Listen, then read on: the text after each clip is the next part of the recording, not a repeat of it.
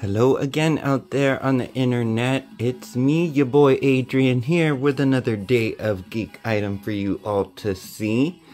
So today I'm gonna be showing you these that I picked up. Um, you might not be able to tell what they are, but they are magnets. Um, I got them on a trip to uh, Six Flags uh, maybe a couple of years ago.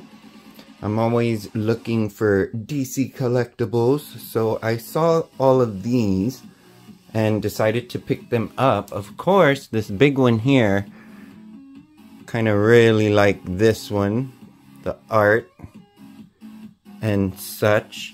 I do like that it has Supergirl, but kind of bummed that they didn't put Wonder Woman on this one, but it is still an awesome, pretty large magnet if you can't tell there.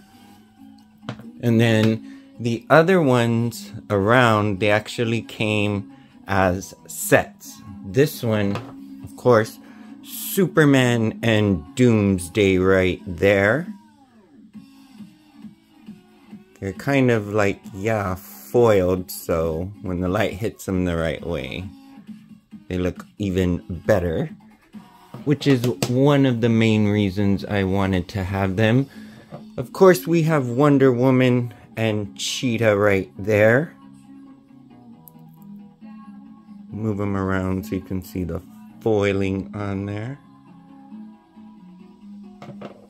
Of course, we have Batman and the Joker right there.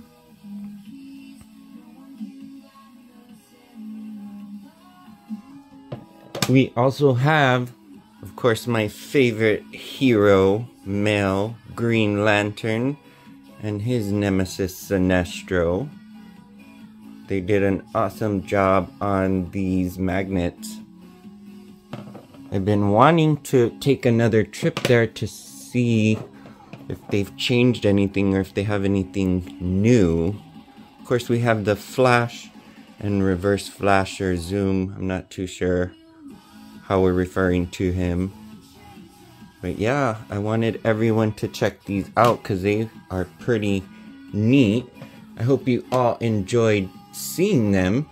I, of course, will be back tomorrow with another day of geek item for you all to see. Until then, take care on the internet.